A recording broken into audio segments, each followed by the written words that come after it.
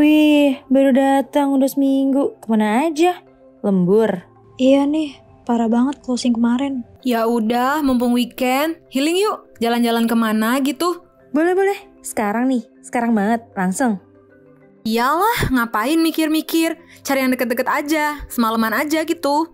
Oke, kita caps pakai motor, cap caps pakai motor. Healing.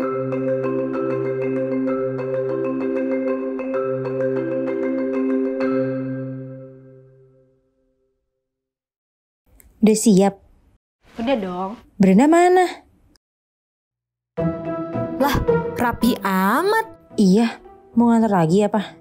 Sorry sis, healing gue beda. Gue ke gereja dulu ya.